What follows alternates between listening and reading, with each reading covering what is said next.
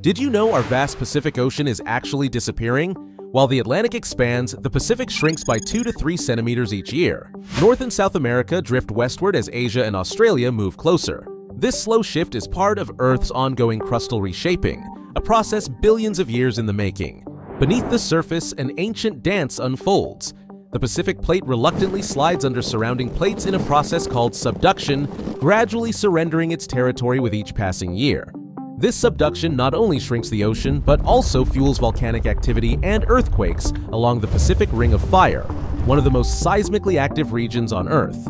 In 200 to 300 million years, the Pacific will vanish entirely. In its place, a new supercontinent called Amasia will form as Asia collides with the Americas, reshaping global geography forever.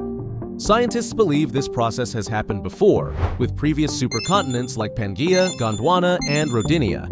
Imagine a world where Americans could drive to Tokyo or Beijing. No ocean crossing required.